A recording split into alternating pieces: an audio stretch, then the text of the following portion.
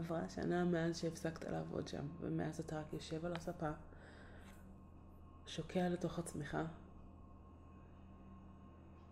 ומסרב לעשות משהו למען עצמך, אפילו לא למעננו, למען עצמך.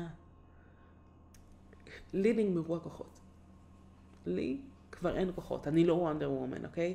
אני לא יכולה גם לטפל בילדות, גם לטפל בבית, גם לטפל אה, בעניין הכלכלי, אני המפרנסת היחידה, וגם לטפל בך. פעם הייתה לך מוטיבציה, היה לך רצון לעשות, לעזור, לפעול.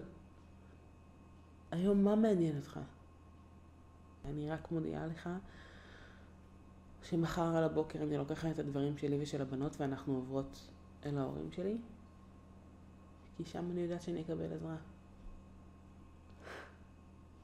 אני חייבת את זה לשפיות שלי, אתה מבין?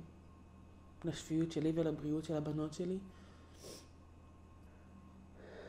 אם אנחנו נשאר איתך פה, אז אנחנו רק נשקע ביחד איתך, כי אין לי כוחות כבר להתנגד לזה.